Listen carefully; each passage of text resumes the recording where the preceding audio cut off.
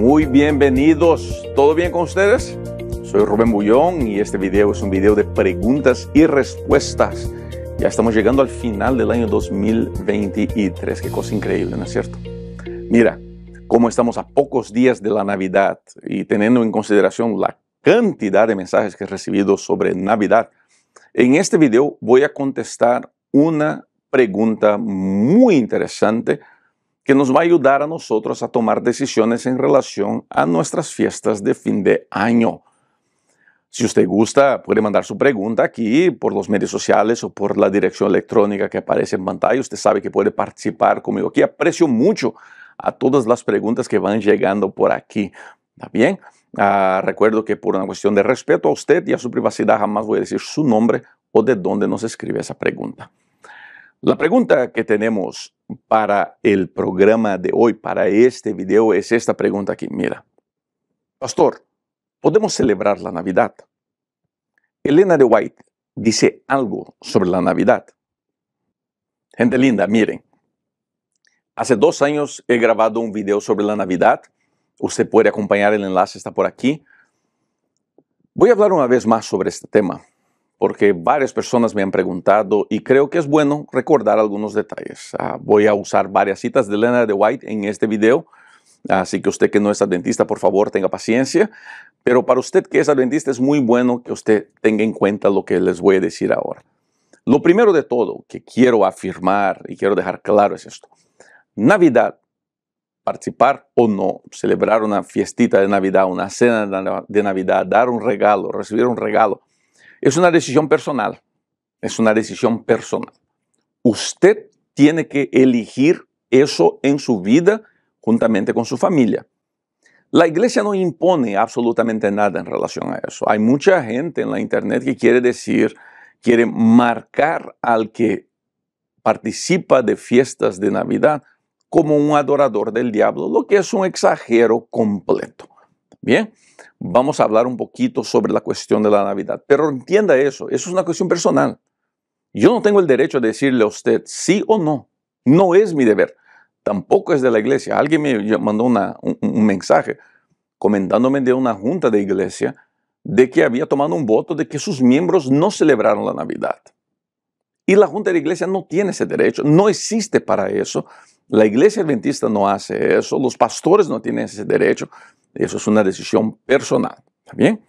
Entonces vamos por partes. Primero vamos a hablar sobre la iglesia adventista del séptimo día. Yo no puedo hablar de otras iglesias o cómo funcionan las demás iglesias porque yo no tengo conocimiento de cómo es la doctrina de otras iglesias. Yo no sé cómo son los procedimientos en otras denominaciones. Soy pastor de la iglesia adventista del séptimo día por los últimos 26 años, así que les puedo hablar con mucho conocimiento de qué es lo que nosotros como adventistas pensamos. Primero, la iglesia adventista no tiene una posición oficial en relación a celebrar o no celebrar la Navidad. La iglesia adventista no tiene una posición oficial porque entiende que eso es un tema personal, es un tema que cada uno tiene que tomar su decisión. Segundo, es muy importante recordar que la Biblia no habla de la fecha de nacimiento de Cristo podemos considerar, podemos especular por qué la Biblia no habla de esos temas. Podemos querer imaginar la razón por la cual la Biblia no hable de la fecha del nacimiento del Señor Jesucristo. Algunos llegan a creer de que la Biblia guarda silencio sobre ese tema justamente para evitar la idolatría a la fecha. Sea cual sea la razón, algo sabemos. La Biblia no habla sobre ese tema. Ahora, aunque la Biblia no habla sobre ese tema, eh, llegamos a la conclusión al estudiar el relato bíblico de que muy probablemente Cristo, no, el Señor Jesucristo, no nació el día 25 de diciembre. De paso, registros muestran que los romanos ya celebraban el nacimiento del Dios Sol, la celebración del Dios Sol en el día 25 de diciembre de esos tiempos allá. ¿Está bien? Entonces es muy probable que Cristo no haya nacido el 25 de diciembre, muy probable. Por las informaciones del, del conteo romano, de los pastores en el campo y todo eso nos muestra que porque el 25 de diciembre en tierras bíblicas es invierno, pues es muy probable que eso no haya pasado, que esos relatos no hayan pasado en invierno también. Aún así no sabemos. Ya he visto comentaristas intentando decir que Cristo nació en primavera, que Cristo nació en tal mes, que probablemente son puras conjeturas, uh, son especulaciones. Algunas tienen un poco más de lógica, otras menos. En lo personal no me preocupa. En lo personal no me preocupa. Lo único que me alabo es de que un día Dios mandó su Hijo a nacer en la tierra y esa es razón de sobra para alabar al nombre de Dios. Segundo, uh, si usamos la Biblia, entonces no tenemos un argumento que diga que se deba celebrar la Navidad, porque pues no tenemos la fecha del nacimiento de Cristo, ¿no? Ahora, es, es una realidad lo que algunos argumentan, ¿no? De que el día 25 de diciembre era una fecha pagana. En ese sentido tienen razón. El día 25 de diciembre era la adoración del sol. Algunos llegan a ir más allá, más atrás, para, eh, para nombrar otras, otros ídolos que eran adorados en el 25 de diciembre. Algunos llegan a creer que los arbolitos de Navidad tienen mucho que ver con esa adoración idólatra y qué sé yo, ¿no? Ahora, gente, miren, el hecho de que uno celebre la Navidad, que tenga fiesta de Navidad, no quiere decir que está adorando al Dios Sol o adorando algún ídolo o algún demonio. No tiene nada que ver, en absoluto. Le voy a dar un ejemplo muy fácil de entender. La mayoría de nuestros países latinos, la mayoría de la gente que acompaña este video, uh, todos los feriados, todos los feriados, o la gran mayoría, los feriados tienen origen en celebraciones católicas. ¿Por qué?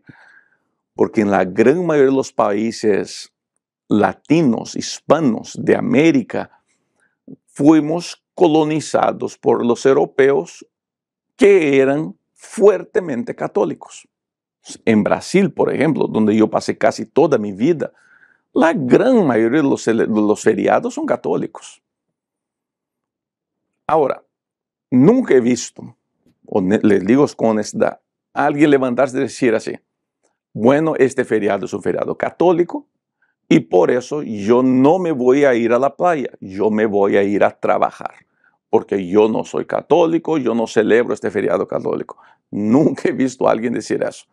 ¿Cuántas veces con mi familia, con mis amigos salimos de paseo en un feriado donde la, la oficina estaba cerrada, no había escuela, nos íbamos al campo, nos íbamos a la playa era un feriado nacional que tenía sus orígenes en las celebraciones católicas. Yo les puedo recordar aquí, y usted que está ahí acompañando, puede escribir en los comentarios feriados de su país de usted que tienen origen en el catolicismo, en las adoraciones católicas. Por ejemplo, en Brasil en junio hay el feriado de Corpus Christi. Pues, todo mundo a la playa. Es un feriado católico. En octubre hay un feriado nacional que es el Día de la, de la Santa de Brasil. Está todo cerrado. y está todo el mundo en paz. Va todo el mundo a la playa, al campo, a descansar.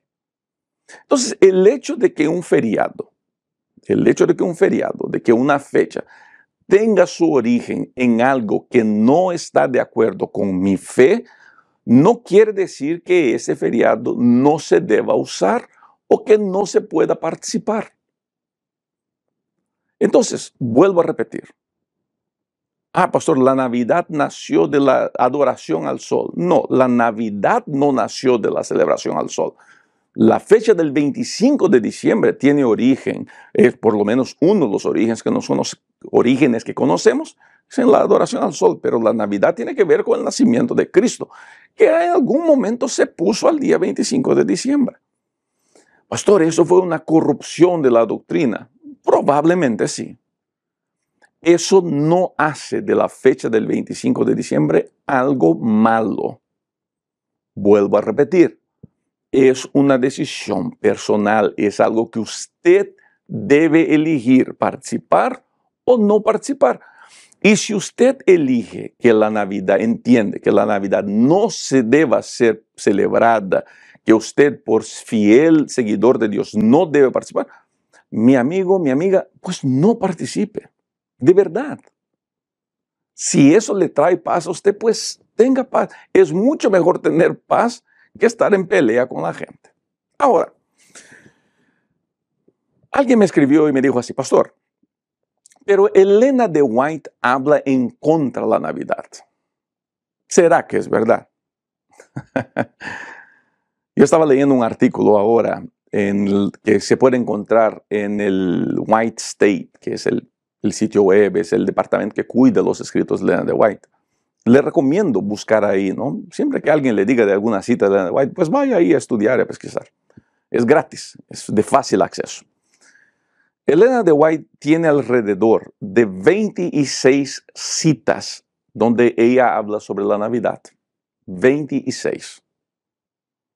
De esas, algunas parecen ser en contra. Voy a leer dos de esas citas para que usted pueda saber qué citas son. También son las que según el articulista que leí son las más usadas para mostrar que Elena de White era en contra de la Navidad. Acompañe en pantalla, por favor. Dios ocultó el día preciso en que nació Cristo a fin de que ese día no recibiese el honor que debía darse a Cristo como redentor del mundo y el único que debería ser recibido y en quien se debía confiar por ser el único capaz de salvar al sumo de todos los que se allegaron a él.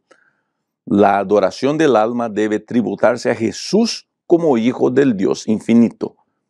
Review Herald, 9 de diciembre de 1884. Que no haya una preocupación ambiciosa y desmedida por comprar regalos para Navidad y Año Nuevo. Los pequeños regalos para los niños pueden no estar fuera de lugar, pero el pueblo del Señor no debería gastar su dinero en comprar regalos costosos. Alza tus ojos, página 366. Comúnmente las personas que dicen que Leonard White siempre se opuso a la Navidad usan mayormente estas dos citas. Creo que existen dos, tres citas más donde parece ser que ella cuestiona. Pero la realidad es que no que Elena White apoyaba la Navidad, y sí ella dio varias orientaciones de cómo los adventistas pudieran usar la Navidad. Permítame leer también dos citas y eso nos ayudará a tener una visión un poco más ampliada de este tema. Acompañe por favor en pantalla. El mundo dedica las fiestas a la frivolidad, al despilfarro, a la glotonería, a la ostentación. En ocasión de las próximas fiestas de Navidad y Año Nuevo, se desperdiciarán miles de dólares en placeres inútiles.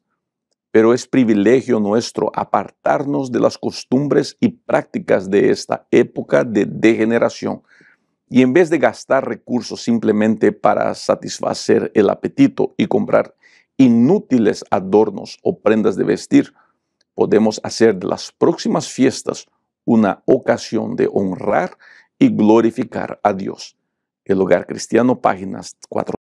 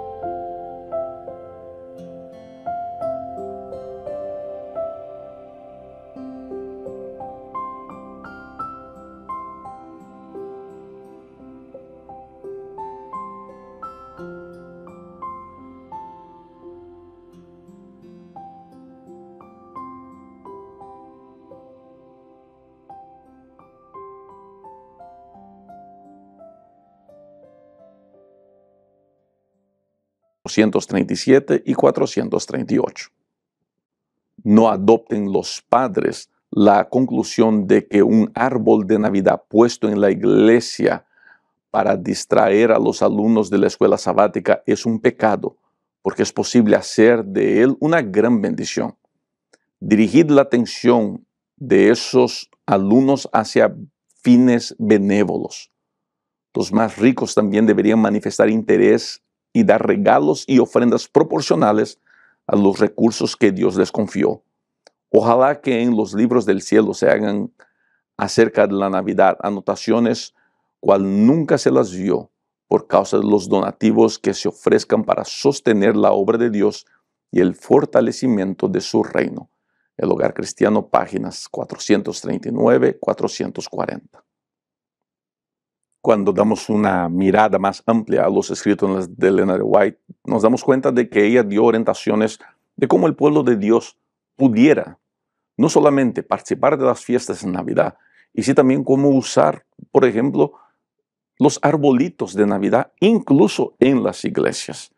Hay citas que no traigo aquí donde ella recomienda de que el arbolito de Navidad, que, que cada iglesia tenga un arbolito de Navidad donde los miembros de la iglesia pudieran entregar ofrendas de gratitud a Dios en ese arbolito, que fue ofrendas para que se usen o para la ayuda asistencial o para el cuidado de la casa de Dios. Así que es fácil concluir que Elena de White nunca se opuso a la Navidad. Mira, lo que tenemos que tener en cuenta en la Navidad es la razón de la fecha. Aunque sabemos que Cristo no nació en esa fecha, tenemos que recordar en especial a nuestros hijos, a nuestros niños y niñas, que son bombardeados durante meses con el mensaje de que la Navidad es para comprar regalo, comprar regalo, tenemos que aprovechar este momento para poner en el corazón de nuestros hijos una vez más la gratitud a Dios porque un día Cristo nació en este mundo. Y porque Cristo nació, vivió, creció, murió y resucitó, todos nosotros tenemos esperanza en el mañana, la esperanza de la salvación. Mira, haga usted lo que quiera. Usted no va a impedir que los mensajes de Navidad lleguen a sus familias. Ah, pastor, no celebro, cierro mi casa. Aún así, anda por la calle y ahí estarán mensajes de Navidad. Entonces, en vez de pelearme con algo que ahí está, ¿por qué no aprovechamos esta Navidad para enseñar a nuestra familia, a nuestros hijos y hijas, enseñar a la iglesia de que esta fecha es un buen momento para hablar del nacimiento de Cristo a las personas. Es un buen momento para traer un regalo de fe a la iglesia. Es un buen momento para crear en, los, en el corazón de los pequeños la gratitud a Dios. Tengo la impresión de que si en vez de pelearnos con la Navidad, le damos un mejor rumbo, sacaremos un provecho muy grande de una fecha que ahí está y que no hay nada que nosotros podamos hacer para que la fecha de la Navidad desaparezca.